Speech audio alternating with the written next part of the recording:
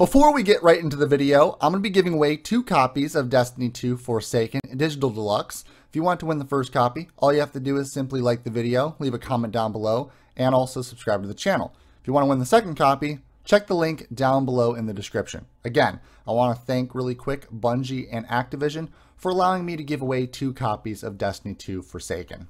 Cerberus plus one. That's right. What's up, YouTube and privileged ones? Hello and welcome back to the channel for yet another Destiny 2 video.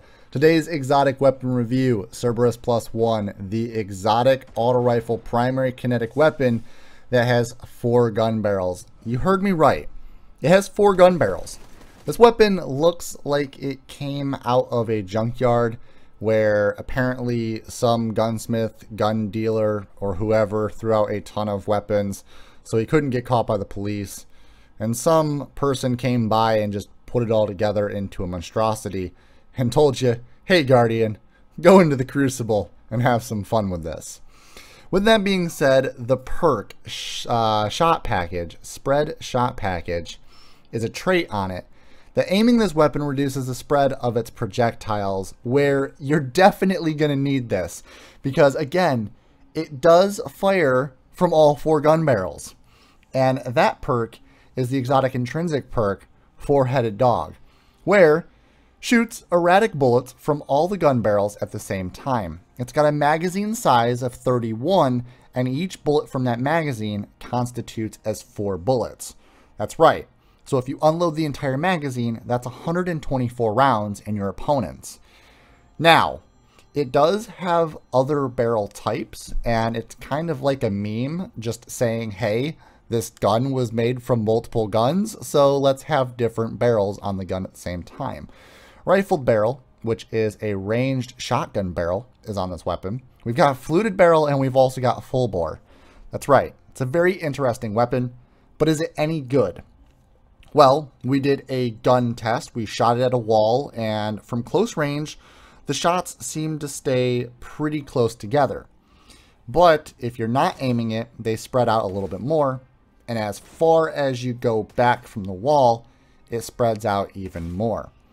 So in the Crucible, if you wanted to use it, you would have to be pretty much from medium to short range. And if you barrel stuff the guy and get up close and personal, and if you're in his face, you're going to absolutely melt them in less than a second.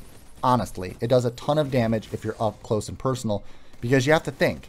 Every time it fires, it's shooting four rounds into the enemy. Now, the body damage in the Crucible is going to be 17 damage. The precision damage is 28, and in PvP, um, that's not too bad. But again, if you're going to be shooting from medium to long range, you're going to be missing a lot more shots. The bullets are sporadic, and if you're aiming for the crit, you might get one crit shot, but the rest of the bullets are most likely to either miss or maybe a few of them will hit the target, doing a little bit of extra damage, but not so much.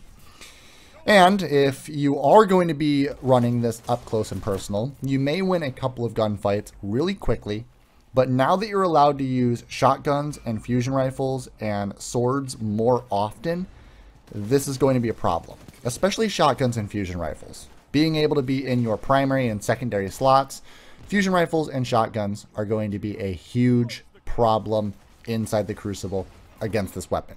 So you're not going to be finding any real use for this weapon in the Crucible. Alongside that though, in PvE, I found that trying to clear out a group of ads was more annoying than anything else.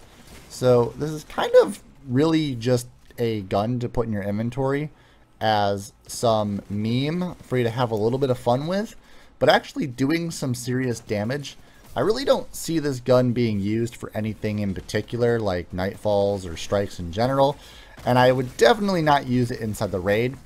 And again, it's just a meme to use in the Crucible. So is it really good? I don't know. Let me know your thoughts and opinions down below in the comment section. And if any of you Guardians have had the chance of using Cerberus Plus One, let me know your thoughts and opinions down below in the comment section as well. I want to know what you think. Because right now, I don't think it's good, but I don't think it's bad. It is a fun weapon to use, but it's not the best weapon to use, if that makes any sense.